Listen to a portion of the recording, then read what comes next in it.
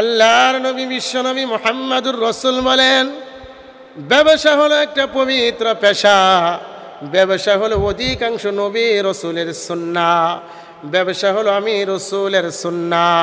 আল্লাহর নবী বিশ্বনবী বলেন, যেই ব্যক্তি আমি রসুলের একটা সুন্নতকে জিন্দা করবে, আল্লাহর নবী বিশ্বনবী বলেন, তার আমল নামার মাঝে আল্লাহ পাক রব্বুল আলমিন একশত শহীদের সোয়া প্রদান করবে সুবাহান আল্লাহ আল্লাহর নবী বিশ্বনবী বলেন, আমার উম্মতের মাঝে তিন শ্রেণির মানুষের পজিশন হলো সর্বশ্রেষ্ঠ পজিশন এক নাম্বার হলো নবী, দুই নাম্বার হলো সিদ্দিক, তিন নাম্বার হলো শহীদ।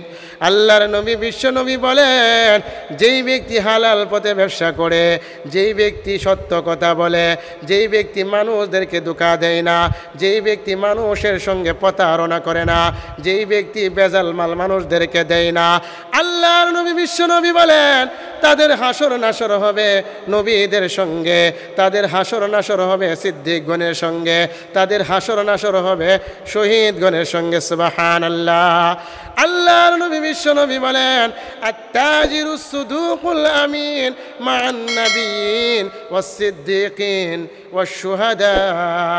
আল্লাহর নবী, বিশ্ব নবী বলেন, সত্যবাদী ব্যবসায়ীদের হাসর নাসর হবে নবীদের সঙ্গে সিদ্দিকগণের সঙ্গে শহীদগণের সঙ্গে সুবাহান আল্লাহ আল্লাহর নবী, বিশ্ব নবী বলেন, যারা ব্যবসার ক্ষেত্রে ভুল করে, মানুষদেরকে ঠগায়, মানুষদের সঙ্গে প্রতারণা করে, মিথ্যা কথা বলে, আল্লাহর নবী, বিশ্ব নবী বলেন, ইন্নাত তুজ্জার ইউবাসুনা ইয়াউমাল ফুজ্জার।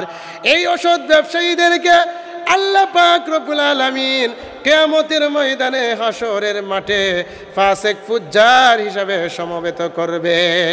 আল্লাহর নবী, বিশ্ব নবী বলেন, ইল্লা মানিত্তাকা ওয়া ওয়াসাদাকা ওয়া সাদাকা।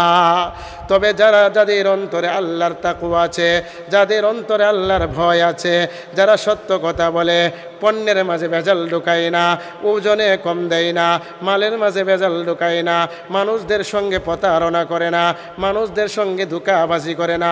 সত্য কথা বলে, মিথ্যার আশ্রয় নেয় না, ওই সমস্ত মানুষদের ব্যতীত।